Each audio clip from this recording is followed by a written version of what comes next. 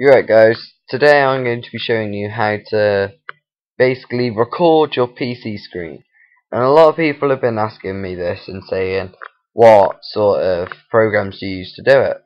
And I've used a lot of programs and I've used programs that have cost a lot of money.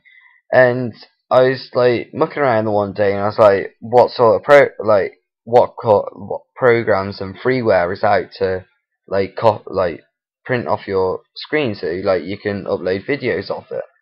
And I've used a couple and then I came across one that is free and it's called Cam Studios. And Cam Studios is what I'm actually recording off at the moment. And I paid for one and I think I paid £80 for it. And I don't even use it anymore. It's on my other computer. It's useless compared to this. Because this one, it is just everything you need.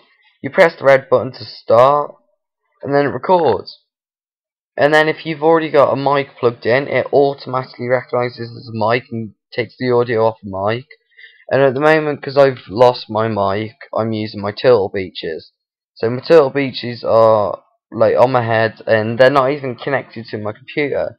Because I have my computer connected to my JTAG, and my Turtle Beaches connected to that, it all work, it goes through. It's pretty cool how it works. I ain't sure how it does, but it works.